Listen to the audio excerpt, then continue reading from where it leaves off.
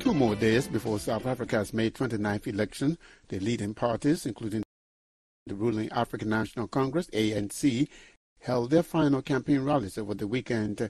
President Cyril Ramaphosa appealed to South Africans that if they give the ANC another chance, it will do better. Professor Sipho Seepe is the political analyst and former deputy vice chancellor for institutional support at the University of Zululand. He tells me it is looking more likely that Wednesday's vote will produce a coalition government led by the ANC. Well, the ANC brought out uh, the big guns. Former President uh, Thabo Mbeki, it brought uh, the other former President Motlanthe. It got uh, the main entertainers, artists that it could buy, and uh, it looked like um, the polling changed positively towards the ANC whereas the polling was suggesting that the ANC would get as low as 40%. After a week of a serious campaigning and two weeks of campaigning, the number went up, suggesting that the ANC might get up to 45%.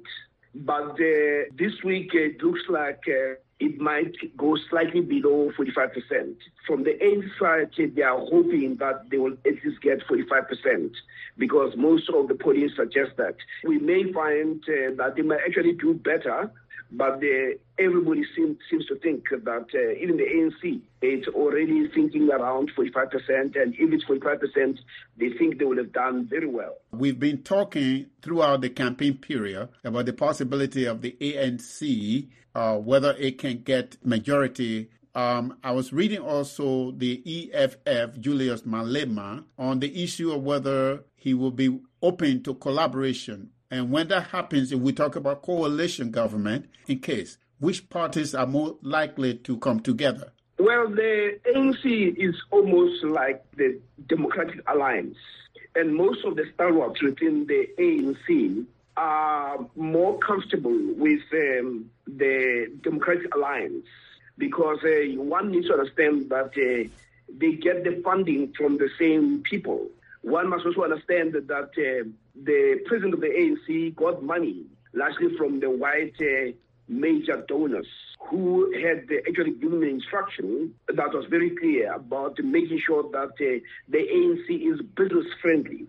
So at the moment, the current leadership of the ANC is under Ramaphosa's pocket. And if Ramaphosa is under the control of the white monopoly capital, it is most likely that uh, the ANC and the DA may form a coalition. And uh, as I say, a number of stalwarts who are very angry with uh, the EFF would rather not work with the EFF. And besides, the EFF uh, seems to be on a far radical posture. Dhobley town in Somalia's southern region was once ravaged by violence, functional strife, and constant attacks by Al Shabaab militants. But today, Dhobley's residents cannot help but marvel at the first ever tarmac road that now connects the region to Afmado, an important city in the middle of the Juba region bordering Kenya. The critical artery was opened by the Kenya Defense Forces Engineering Squadron based at the Dhobley Forward Operating Base FOB as part of their mandate in African Union Transition Mission in Somalia.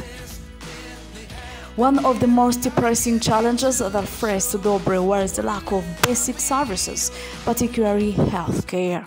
Years of conflict had put the town's medical infrastructure in a shambles, leaving its residents vulnerable to diseases and ill health.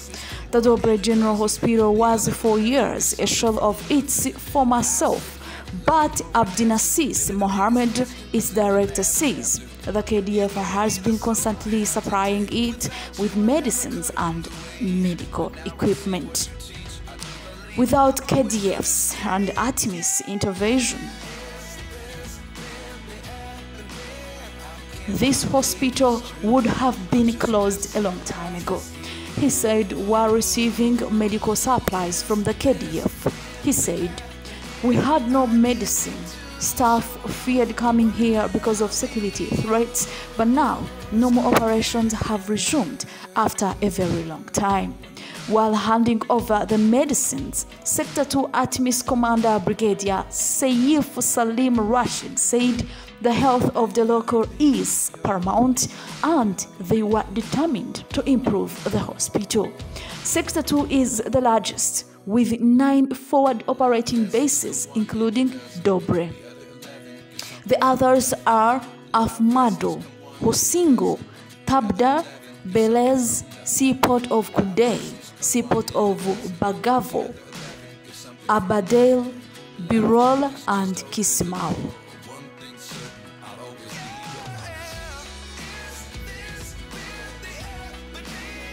Despite the improvement at the facility, the residents still visit the ATMIS Sector 2 Level 2 hospital within the Dhobley FOB, where KDF medics, led by Lieutenant Colonel Jared Kebeso, attended to them.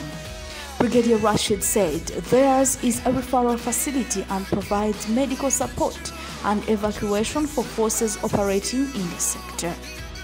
Lieutenant Colonel Kabaso says the hospitals in Dhobley need a lot of capacity building and KDF has a program to assist uh, the local medical practitioners in critical areas such as laboratory, biomedical engineering, and anesthesia and offer referral services.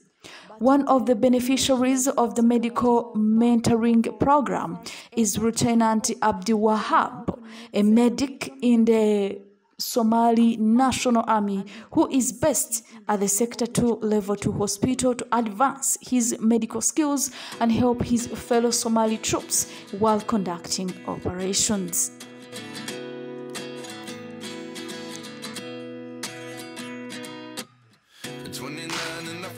wondering uh, what did happen to the last ten. I ran away with my life, fast forward, never back again. It's kind of funny that the more we pass time, the more we need to set them rewind. And 19 was the year I had to leave you, but now I'm seeing all the signs. Is this really happening? I can't believe it's true. I'm just as surprised as you.